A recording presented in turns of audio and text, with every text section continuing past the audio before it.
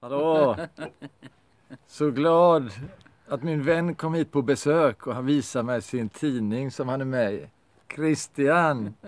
Visa nu uppslaget i den här bonsai-tidningen du har, som du är med i. Bonsai Fokus. Det är världens eh, mest kända bonsai-tidning. Visa Bra- uppslaget. Ja, branschtidning för alla som håller på med Alla som bonsai. håller på med bonsai. Det är ju inte så stort i Sverige tyvärr, men ute i Europa och resten av världen så är det ju gigantiskt. Bara i Frankrike så är det 200 000 utövare av bonsai. Det Visa. säger en del.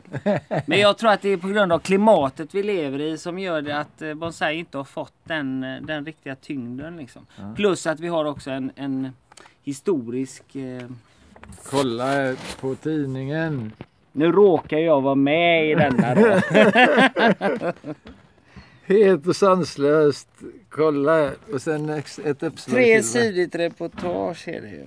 Och det är ju Kolla. en sån ära för mig alltså. För det här är ju Titta verkligen vilka den seriösaste. krukor. Att sitta här uppe liksom i Sverige och, och göra krukor och bli uppmärksamma på det här viset är en sån ära. Jag är så glad för din skull Christian. Du är grym.